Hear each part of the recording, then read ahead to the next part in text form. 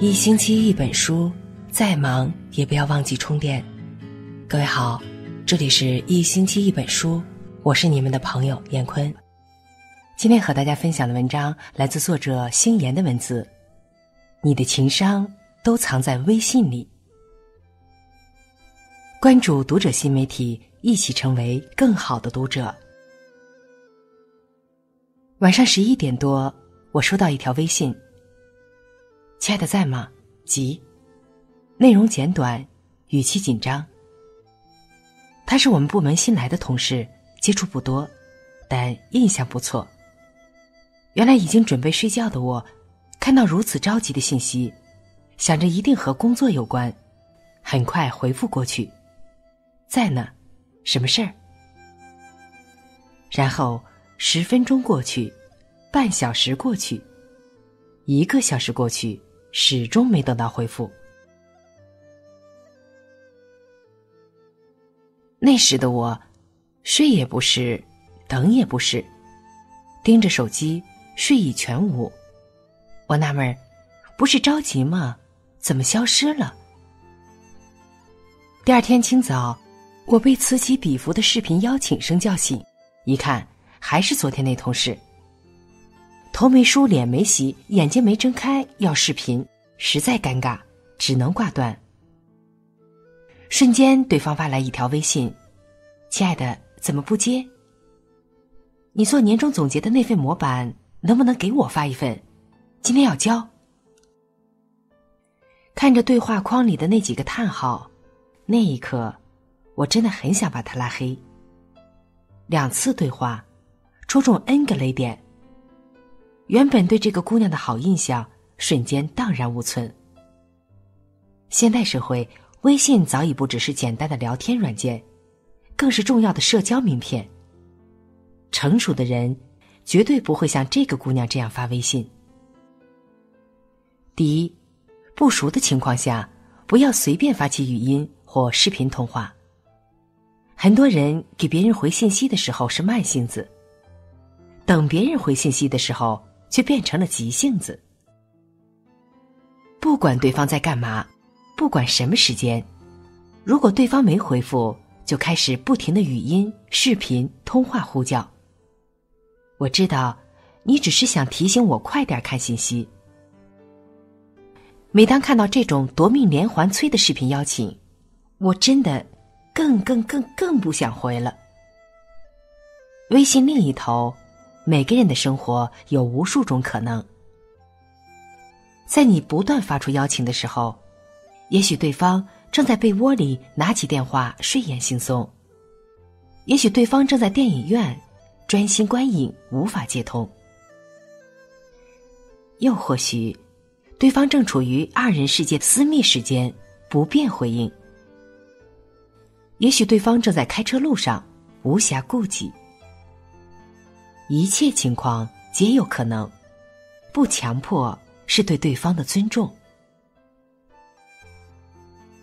一个成熟的人，与己方便的同时，更会与人方便。第二，微信直接说事儿，不要总问在吗。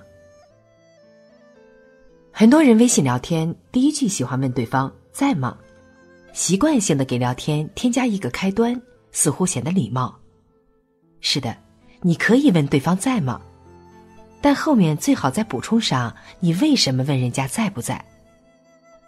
有事相求，就把事情简明扼要的发过去，因为很多时候对方在不在，完全取决于你找对方干嘛。我不知道你是要借钱还是要结婚。我不知道你是要找我帮忙还是仅仅无事闲聊。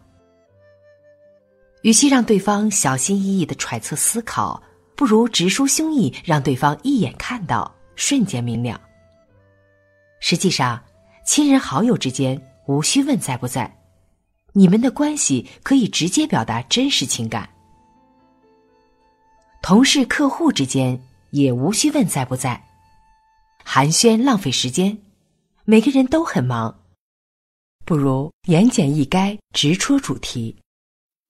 少问一句在吗，减少一来一回的等待，既提高效率，又不至于把对方置于尴尬的境地。第三，尽量及时回复，不要没有结尾。很多人说，这个世界最幸福的事儿是对方秒回，但这世界最崩溃的事儿，也许是我秒回了，你消失了。前面提到的那个姑娘，急急忙忙说有事儿，我回复了，她却掉线了。换位思考，如果是自己遇到这样的情况，会不会有很强的失落感？会不会觉得对方有些不靠谱？人与人的交流沟通，及时回复是最起码的尊重。如果对话由你发起，或本身是你有事相求。这一点则更为重要。如果有事不能回复，可以直接告诉对方结束聊天，不必耽误彼此时间。简单回复一句“在忙，稍后细说”，胜过毫无表态的消失。暂时不知道如何回答的问题，暂时没办法解决的工作任务，如果怕自己转身忘了。可以把这条信息标记成未读，作为自我提醒。对话是种互动游戏，一个很嗨，一个很丧，一个狂说，一个沉默，都无法形成有效沟通。高情商的人是既能协调好自己的时间，也能照顾到对方的情绪。第四，不要在对方不方便的时间谈工作。一开始提到的这个姑娘，在这方面显然有些欠考虑。晚上十一点多，一般人可能已经准备休息了。如果不是特别紧急的事儿，尽量不要去打扰对方。面对客户，尽量了解对方，适合发微信的时间是几点到几点，尊重对方的休息时间。有急事儿，微信里先说抱歉。再简明扼要的表达需求，非工作日，如果不是特别着急的事儿，尽量不要去打扰别人。每个人都有自己的节奏和私人生活，对方不是你的下属，不需要二十四小时待机，也没有义务随时随地回复。人与人之间沟通。彼此舒服的前提一定是彼此尊重。一个人如何发微信，时常会暴露他的情商和教养。除了前面提到的几条，微信聊天还有许多可以避免的雷区，比如少点高冷，多点温暖。有些人在微信上永远冷若冰霜，无论你说什么，他的回复都是“嗯”。哦，呵呵，其实很多时候多打一个字，态度会相差很多。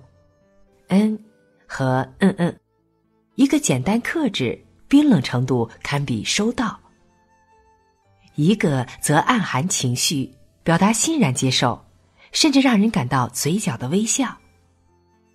同样的文字，可能传达不同的语气，文字不会说话，对方却善于解读。为了减少误解，微信聊天时，尽量在文字中表达自己的态度。比如，如果一定要简短回复，最好有标点符号、语气词或者使用一些表情。好的，和好的，好的，和好的呀，好的，和好的，一字之差，感官天差地别。再比如，多点真诚，少点群发和套路。春节拜年，一条群发的短信，不如一个简单的“某某某，新春快乐”。各种精彩的段子，不如一句“好久不见，我想你了”。群发的内容再精彩，也会减少沟通的温度。群发的对象再多，也得不到几个走心的回复。哪怕是微商、广告，这种毫无灵魂、直接复制粘贴或者用二维码的群友，也没有多大意义。如果真的想宣传自己的产品，不如用心编辑一条带姓名的定制的信息，也许会有事半功倍的效果。微信里还有一些人，特别喜欢发朋友圈第一条请点赞，帮忙砍一下，跪求转发之类的内容。常年不联系，对话框里全是这些垃圾信息。